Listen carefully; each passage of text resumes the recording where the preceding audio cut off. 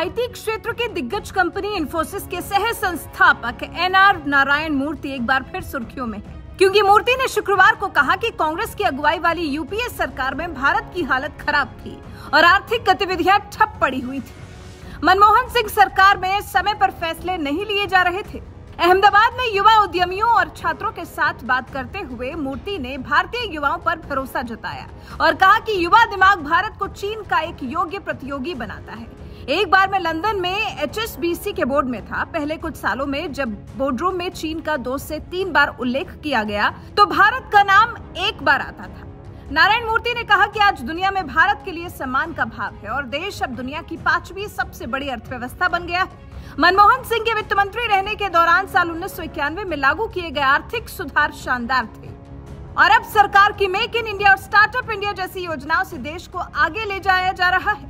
जब मैं आपकी उम्र का था, तब ज़्यादा ज़िम्मेदारी नहीं थी, क्योंकि ना तो मुझसे और ना ही भारत से ज़्यादा उम्मीद की जाती थी। आज उम्मीद है कि आप देश को आगे ले जाएँगे। मुझे लगता है कि आप लोग भारत को चीन के समक्ष उसे टक्कर देने वाला एक योग्य प्रतियोगी बना सकते हैं।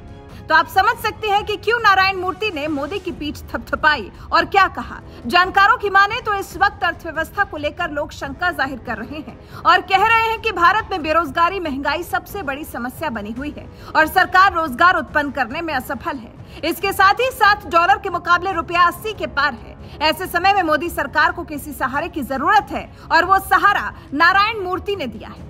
इसके साथ ही साथ खबर है कि विदेशी मुद्रा भंडार भारत का खिसकता जा रहा है। इसी बीच सरकार को एशियन विकास बैंक ने काफ़ी राहत दी है। उसने अपने सालाना आकलन में कहा है कि चीन की अपेक्षा भारत की अर्थव्यवस्था की रफ्तार तेज होगी तो इससे केंद्र सरकार को राहत ज़रूर मिली है। लेकिन महँगाई और बेरोजगारी अभी भी उसके सामने खड़ी है।